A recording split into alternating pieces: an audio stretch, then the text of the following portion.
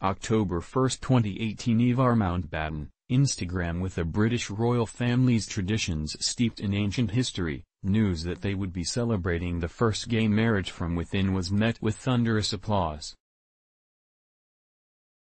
The news was announced in June this year that Lord Ivar Alexander Michael Mountbatten, Queen Elizabeth II's third cousin, would be marrying his partner James Coyle later in the summer. And on September 22, that wedding came to pass on a cold and wet British day, according to Stuff.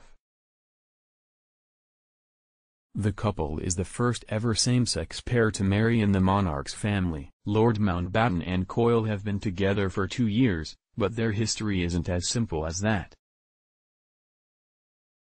Mountbatten was previously married to Lady Penny Mountbatten, with whom he has three daughters, before he came out as gay in 2016. Royal Central reported that Lady Mountbatten actually gave her ex-husband away at the private ceremony hosted in Devon.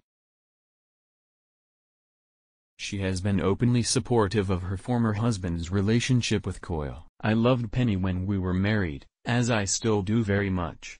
I never thought this would happen. It's brilliant, but I never thought I'd marry a man, Lord Mountbatten said. He took to his Instagram account to share special photos of their big day.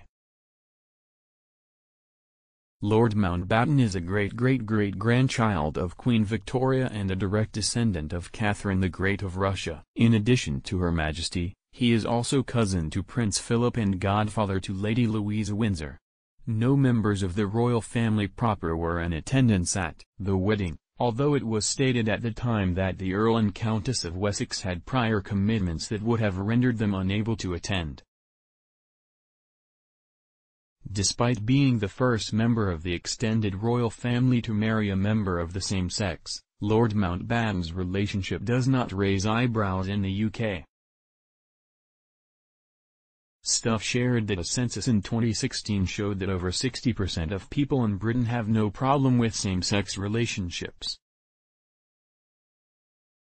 Gay marriage was legalised in the UK in 2014, with the exception of Northern Ireland where only civil partnerships are available to gay couples. According to Jonathan Thomas, the publisher of Anglotopia.net, Lord Mountbatten's distance from the throne also means that he did not have to contend with the constitution in order to marry Coyle.